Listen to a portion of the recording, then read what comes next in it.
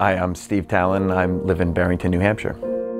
I had been ignoring headaches for a number of years and I started to have a type of seizure that was only ever on one side of my body, but still, I uh, avoided going and checking it all out.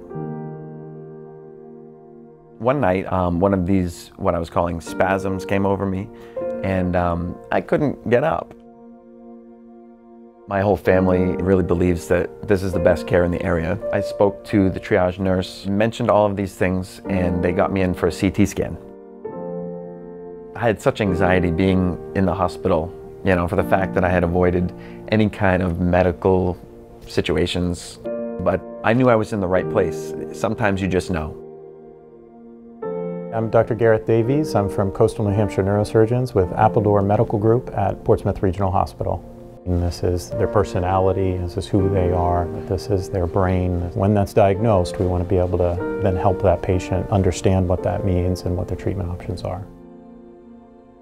I was attracted to Portsmouth originally because I love the small community and really what sealed the deal for me was that they were such top level physicians for something like brain tumor care we know that the patient is going to require multiple visits. And we want their family members to be able to visit them. So to be able to provide that level of care to members of the Seacoast is very helpful for, for people in this community.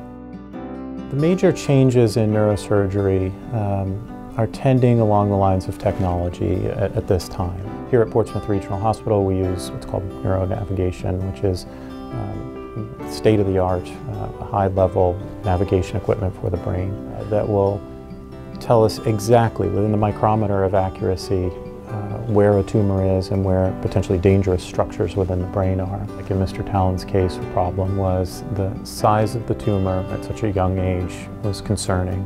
The CT scan showed um, a mass of 5.3 or 5.2 centimeters in diameter. I had um, a bunch of people ask me, are you going for a second opinion in Boston?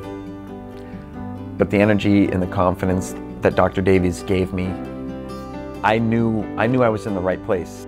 I was able to be within an operating room within about a week.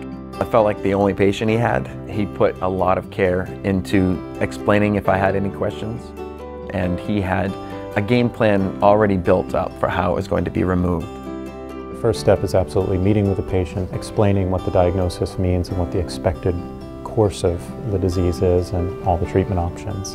When he first met with us, we went through all the options in general, which would be just repeat imaging to make sure this isn't growing, radiosurgery or radiation to stop it from growing further, or surgery to remove it. For Mr. Talon, surgery really was the best option. I can tell you from the moment I woke up, instantaneous relief. I'm very pleased with how things went for Steve. He has been an outstanding patient. He's, uh, you know, every step of the way, he's just faced everything with energy and, and a positive attitude. The headache was gone, the pressure was gone, my hearing was back.